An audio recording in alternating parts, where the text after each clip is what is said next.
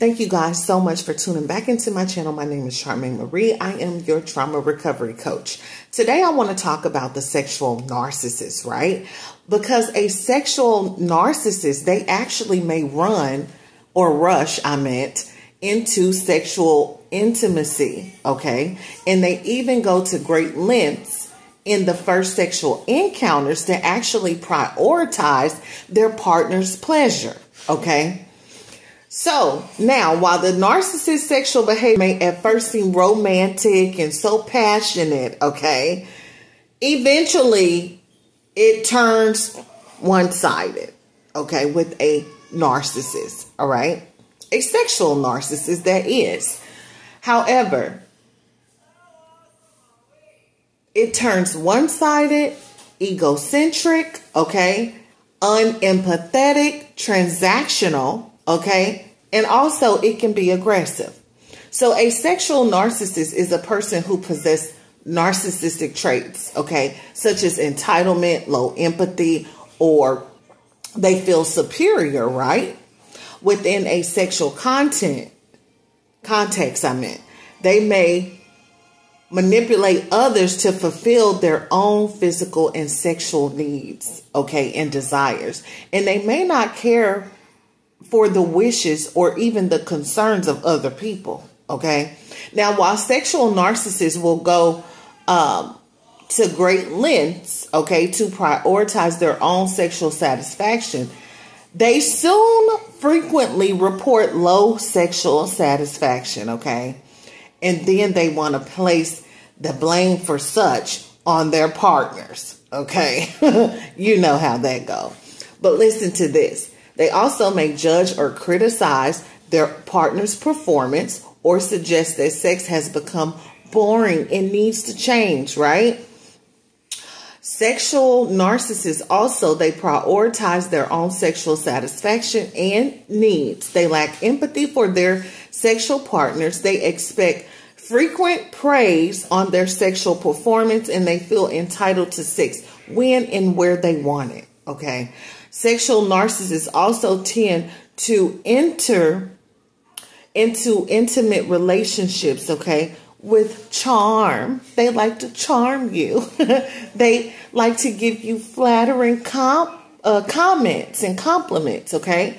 And also, they'll try to give you an abundance of love in the beginning, all right?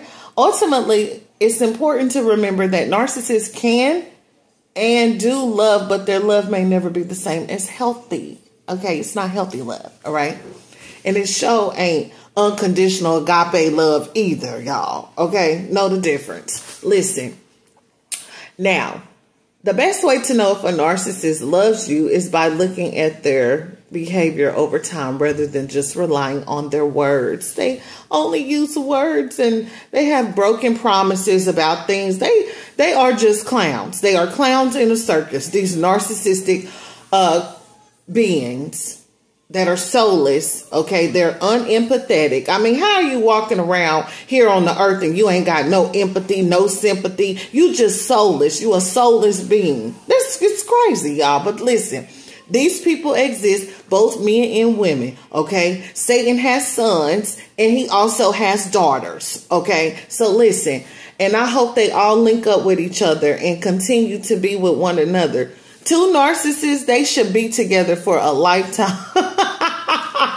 Listen, because they both crazy, all right? Um, and toxic as hell. Listen. okay, listen to this, you guys. Um,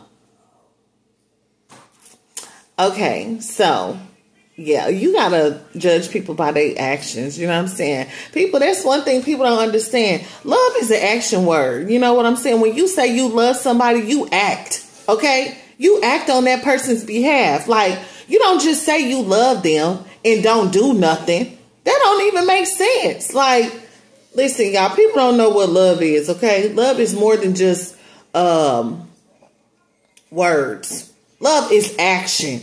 Okay? And if your actions ain't backing up what you talking about, then you don't love nobody. Okay? You love them false promises that you be making that you can't deliver on. You know what I'm saying? So listen to this. This is we talk about the sexual narcissist. Let's get back to it. So